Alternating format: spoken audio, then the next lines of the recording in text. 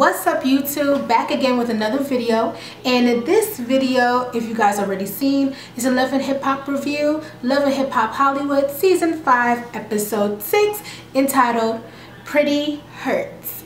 All right so we're just gonna go ahead and get right on into the video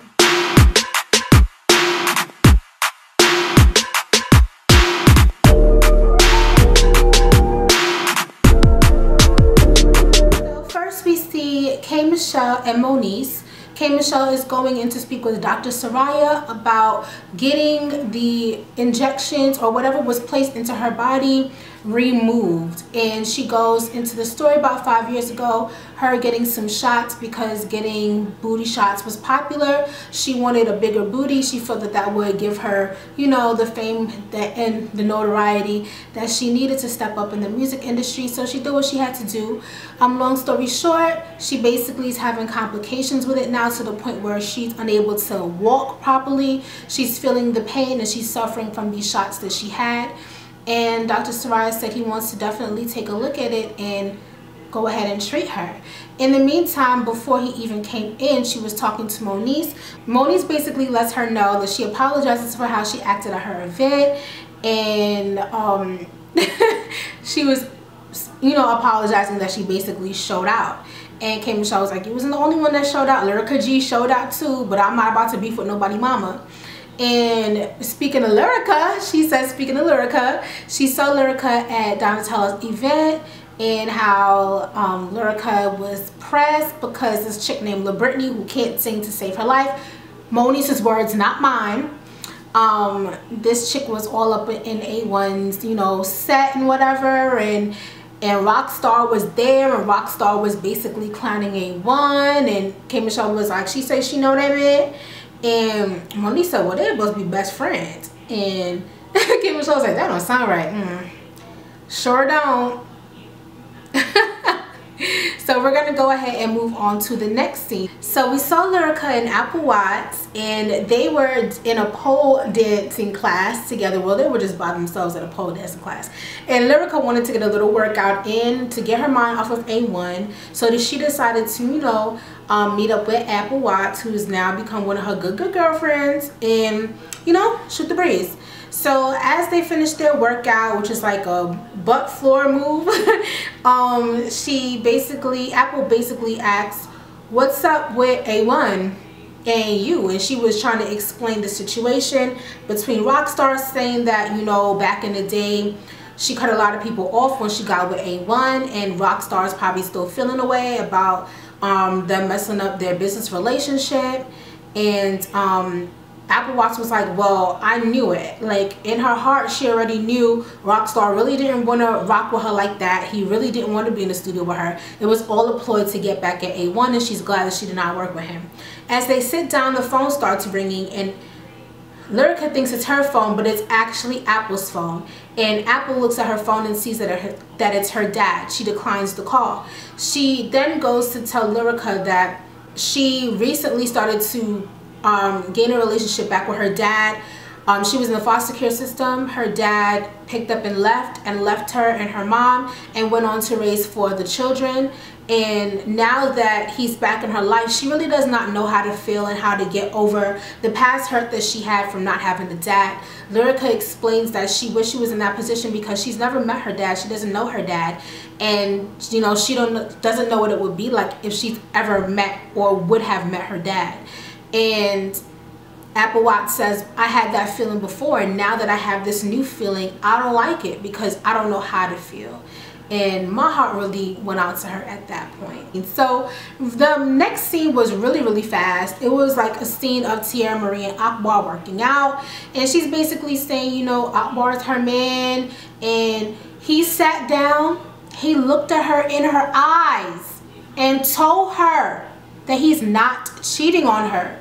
So, you know, relationships is built on trust and Akbar is who she loves, so she has to trust him. Girl, he looked at you straight in your eyes and lied. But that's neither here nor there. Moving on. So now we're at the hair salon for some girl talk. We see Brooke in the chair as well as Bridget Kelly. They're both getting their hair done and they're talking to each other. Um, she basically Brooke is basically telling Bridget Kelly what happened between her and Marcus, how, you know, the, the she invited Stasia over the house and she basically, you know, tried to tell Stasia that the relationship with her and Marcus is now over. She needs to run along, move bye-bye. And the girl had the audacity to state that she might be pregnant and she was like okay girl well they went and got a test and then come to find out the girl's not pregnant her and Marcus are a little bit shaky but she's cooking up a little something to reel Marcus right on in and she wants Brooke's assistance. Well Paris also shows up and Paris apparently is late you guys to the party. For her hair appointment. So basically Paris sits down in the chair. Now she's getting her hair done. And they asked her what happened with the whole Teairra Mari situation. You know, Brooke loves a good gossip. So Paris basically states to the ladies, you know, all the drama that's going on with Teairra Mari in this Akbar situation. You know, she she explains that she ran down on Akbar, you know. she ran down on Akbar's wife, you know, met up with her. You know, the she said they'd be married for six years and the girl know about Teairra Mari. Teairra Mari just don't know about the girl. Well, according to her, Teairra Mari does not know about this girl. And, you know, she's explaining, you know, that the wife got really upset when she tried to question, you know, Akbar's loyalty. And Brooke says, well, whenever you talk to Teairra, tell her that is the homie. And he is, whatever he does is not new to Brooke because he's dated two of Brooke's friends already. He basically has as a next chick that she saw at the gym rocking his his gear and that's his girlfriend and Paris goes okay well it must be this girl Sade right here and she shows her the picture and she's like no she's not even that color so now we know Akbar doesn't only have a wife he has a mistress and now the mistress works in the gym and now Paris is like well now I gotta go undercover again and Brooke is like, well, where is Teairra in all of this? Like, how does Teairra not know? And Paris is like, I don't know, but I need to get down to the bottom of this. And she's like, dang, I gotta go to the gym? of course you would say something like that. On to the next scene. So basically now we're at A1's video shoot. He's having another video shoot.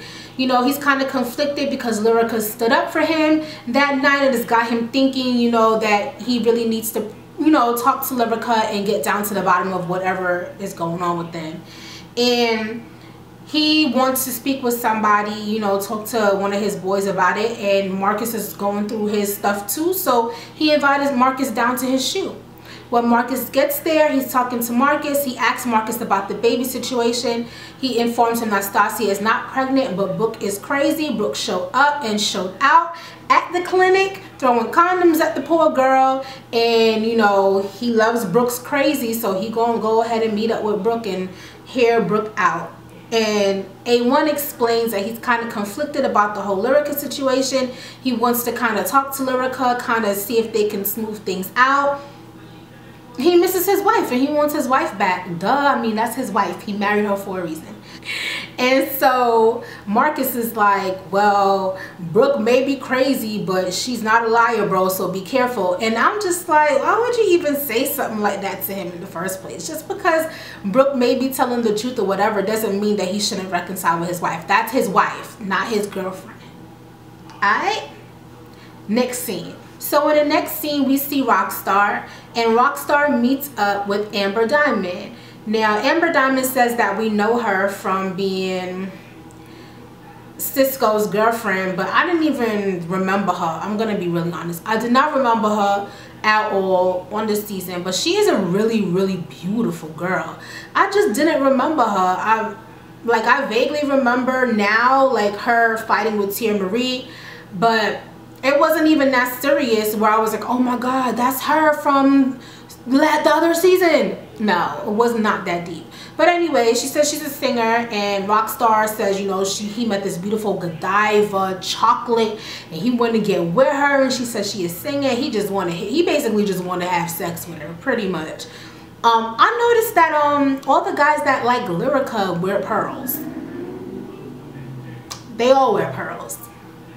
Anyway, so she, they're both talking at a restaurant and she's talking about, you know, she's really serious about her music. She wants to take her music career to the next level. And he's like, yeah, yeah, yeah, yeah, obviously. And then he starts speaking about, well, how are we going to do the compensation? And I'm like, what kind of sleazy deal is he trying to cut with this chick? Then she says, you know what, speaking of that, I actually brought my manager. And in walks her equally as gorgeous mom, Sean Love. So Sean Love basically says, you know she believes in her daughter. She wants to make something right. When she heard about rockstar she had to do her little research. She heard he was the real deal. So she know exactly what to do with him. And when they spoke about how everything was going to progress he's talking about 100 bands. She said she wants to do an ep 100 bands for an ep he said no for the record. She like what she said, you know what, we're just going to start with what's in my purse. Obviously, they had some type of negotiation. She pulls out a wad of stacks. She pulls out stacks and hands it to him. And he's like, whoa, this what we doing? He acting real thirsty. Like, calm down, sis. It's not that deep, sis. Like, he's acting extra OD thirsty. So he's holding the money his hand like, hello. Like, you know, like he's never seen money before. But he is also very exaggerated. His character is very exaggerated on the show um but he's holding the money whatever and he she's like i'll give you the other 20 but this is 20 bands i'm gonna give you the other 20 bands when it's complete when the ep's complete. And he's like no for the record. She, so she's like so she's like you want me to give you 40 bands for a song? Like and he's like oh yeah these song is gonna put you on the charts put you on the map and all that yada yada whatever. Moving right along so in the next scene, we see K. Michelle. She's at the doctor saying that she's ready and they prep her and she goes on and she has her surgery. So A1 goes home to visit with Lyrica and talk to Lyrica. He's been wanting to talk to her anyway and she's been hitting him up since the whole incident at the showcase. So they sit down and she looks at him dead in the eye and tells him nothing happened between her and Safari. And he looks at her and he believes her and he told her that that's all he wanted was an apology and to know what the real deal was what was really going on. She tells him she feels like there's a reason she's been acting so strange and being so emotional and she gives him a pregnancy test. And congrats to Lyrica and A1 they are pregnant and expecting a baby. And he's like I'm gonna be a dad and he looks so excited. And he's like, oh, what are we going to tell the family? How are we going to tell the family? And they decide that they're going to tell their family together over dinner. Moving on to the next scene. So in the next scene, now we see K. Michelle and Moniece again. K. Michelle's in bed. Kimberly is in bed recovering from her surgery and she can't help but feel like she wants to seek revenge on the people the family and friends who are supposed to be there for her that are not there for her during that time. And she just thanks God that Moniece is actually there in her corner Moniece says she's always going to be in her corner. Stop thinking negatively. Think positively. The people who are supposed to be around you are around you and the people who are not supposed to be around you are not around you. And that's the way you basically have to look at things. So Kay stops crying about the situation and then we move on to the next scene. So in the next scene, Rockstar and Amber Diamond are in the studio. A-B, this girl sounds terrible. Um, there's nothing that he could do to make the song sound amazing. But since he getting some change he's like I'm about to lie to pretty much. So he tells her come out the booth and he's talking to her. And um she starts bringing up the fact that her mom is really hard on her. And he's like mm, like cueing the violins while she's talking. He's so disrespectful um, and he's telling her the song that they made is a hit and he's so excited about it and he's telling the truth and her voice is nice and she did such a great job and she's like oh yay and I'm just like Mm-mm. And she basically now is going off of him saying if he believes in her and he thinks that she's amazing, she must be. And I'm just like, that's so messed up. Like, why you do the girl like that? Why you lie to the girl like that? Uh-uh. I'd have been so mad if i oh man. He lied to her. Next scene. So now we move on to Brooke and Bridget Kelly. Brooke and Bridget Kelly are in a dressing shop and Brooke is looking for something for the special something that she has planned for Marcus. And Bridget Kelly feels like she is gone over and beyond the friendship and gone into internship working for Brooke trying to get tickets booked and inviting Marcus's mama places and Marcus's mom is asking questions and she don't know what to tell her and she just does not know what's going on in Brooke's mind besides the fact that she believes that Brooke is crazy. Brooke is like, oh, just tell her whatever. Tell her her son is going to be doing a performance and he's going to be performing, honey. And she's like, oh, okay. So Brooke has got something up her sleeve. now we're going to go ahead and move on to the next scene. And in the next scene, we see Paris and Akbar's next chick, Alejandra. And they're at MDE, which is the gym that Alejandra and Akbar have together and MDE as Paris asks what does MDE stand for Alejandra said it stands for music does entertain and when she asked her, oh, this your gym? She said, yeah. She said, how long you been working out? She said, oh, I've been working out all my life. And she's like, oh, okay. She's like, okay, what does MDE stand for? And when she tells her, she's like, oh, okay, you do music. She's like, oh, no, my man, um, you know, my man does music. So she goes, oh, so this is both you and your man's gym.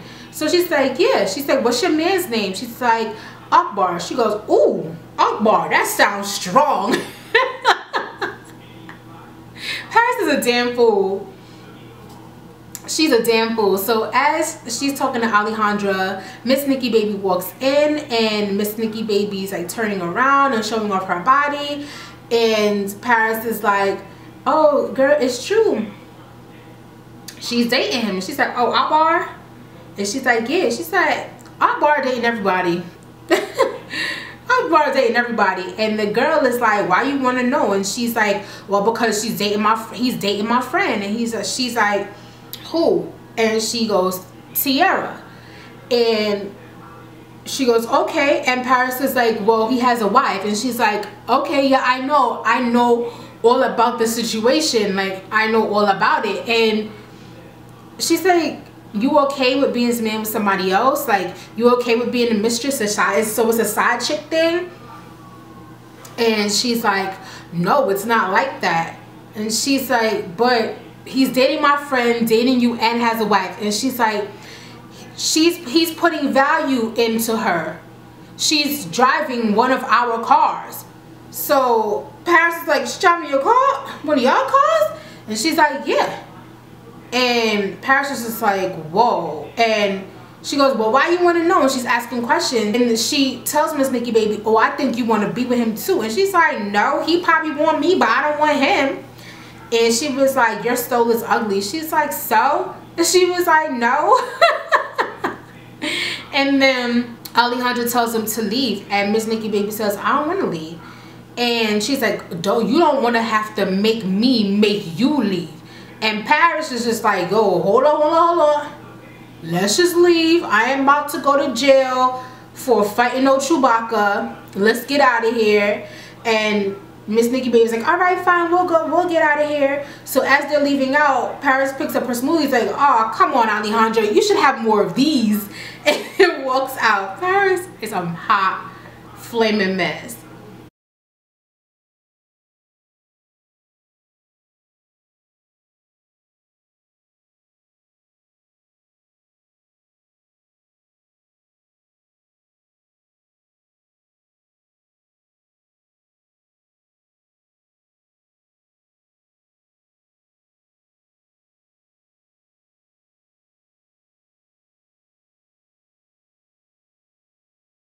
So the next and last scene, we see A1 and Lyrica walking into their dinner. Miss Pam, A1's mom, Lloyd, and Patrice.